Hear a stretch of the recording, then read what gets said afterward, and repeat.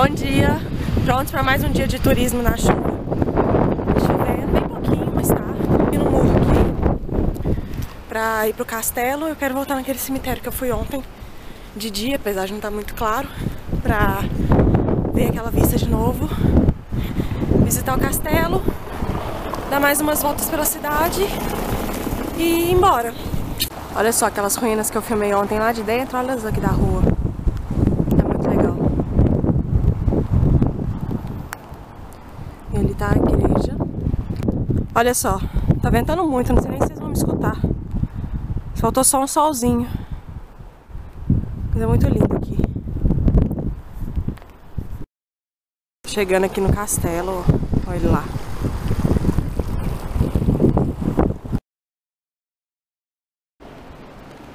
Ó, aqui tem os jardins.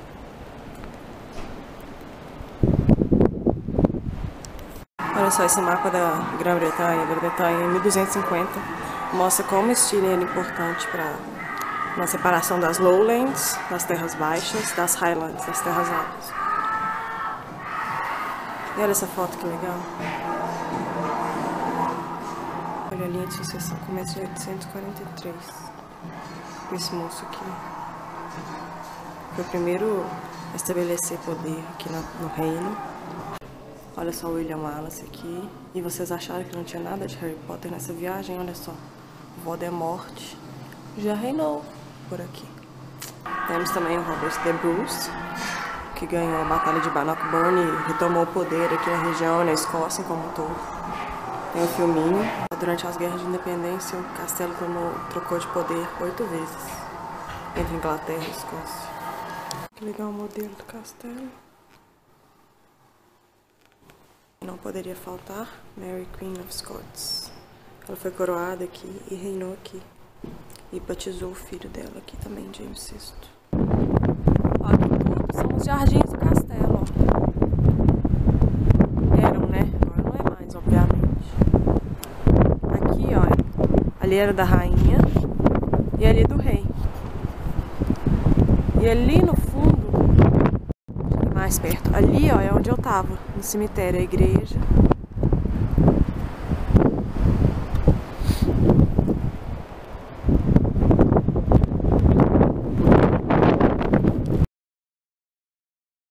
uma escadinha e olha o lugar que eu vim parar. Sozinha. Tem horas que nem eu acredito. Minha coragem. De alguém chegar.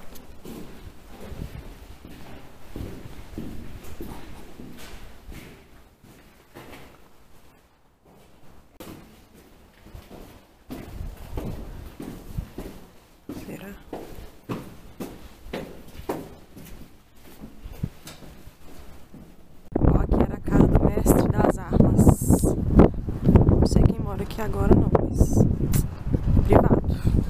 Vamos conhecer as cozinhas.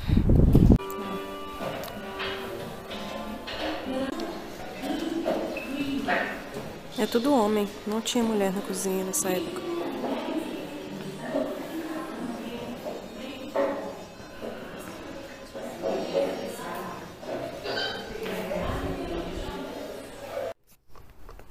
As, as celas, né, a prisão.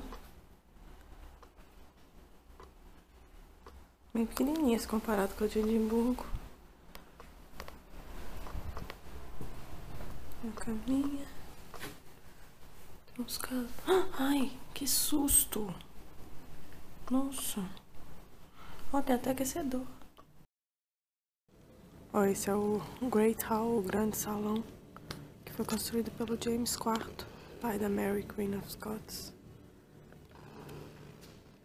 E onde eles faziam é, celebrações, banquetes, festas, etc. É um dos maiores, se não o maior da Escócia. Olha lá o unicórnio de novo.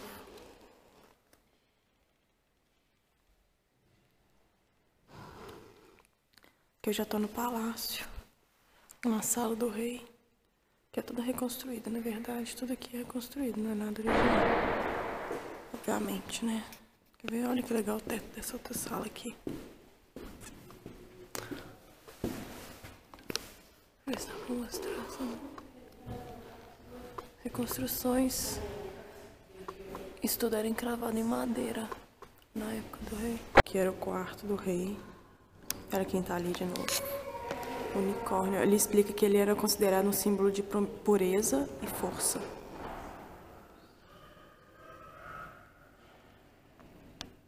Aqui é uma das câmeras de recepção de visita da rainha. E essa tapeçaria,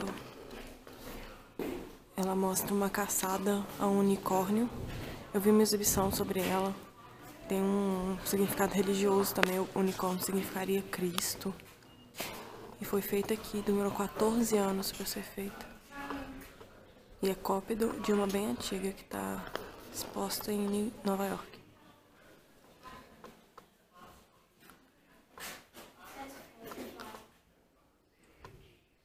Olha que legal aqui a pracinha. Ali eu acho que é a capela, que eu não fui ainda. Aqui é o Great Hall, o salão. Foi tudo construído em épocas diferentes. Aqui é o palácio, foi construído em 1500 e alguma coisa, que é eu acabei de visitar. Agora eu vou ver uma exposição aqui sobre aquelas cabeças encravadas que eu falei. James Quinto era casado com essa mulher, com essa francesa Mary of Guise, sei lá. Aí ele construiu o palácio, um tanto de escultura em volta. E fez essas, é, esses retratos, esses steering heads que eles chamam, cravados na madeira, para decorar o teto do palácio. E os dois são pais da Mary Queen of Scots. Logo depois que ela morreu, seis dias depois, o pai morreu e ela foi coroada. Ó, ó aqui era a linha de sucessão dele, os Tudor e os Stewart aqui o James V. E aí as imagens que ele mandou fazer representavam essa linha de sucessão, mostrando que ele realmente tinha direito ao trono, tinha direito de reinar. Então, aqui tem todas as esculturas. E aqui são as réplicas que estão lá no teto do palácio. Indo embora do castelo, é ele lá atrás. É, agora eu vou visitar uma casa que tem aqui, bem antiga. E daqui a uma hora e meia meu ônibus sai. Tá? Tem que ir lá rapidinho. E eu ainda quero comer alguma coisa. Eu tô visitando esse Argels Lodging, que é uma mansão muito importante, fica bem perto do castelo. Que já fui várias coisas, já foi hospital, já foi hostel. E hoje eles reconstruíram como ela era na época, no século XVI, XVII. Ó, estamos na cozinha, que é do final do século XVI.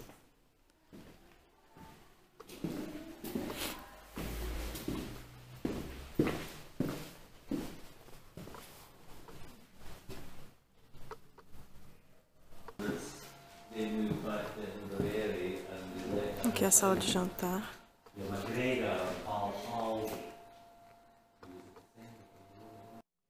Olha só o quarto do casal, tá muito escuro pra filmar. Tem até um banheiro aqui, ó. Suíte.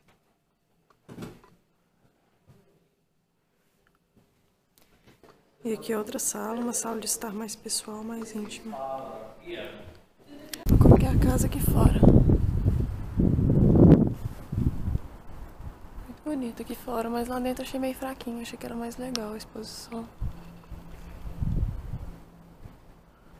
Não dá pra ver quase nada desse casa grande, gigante.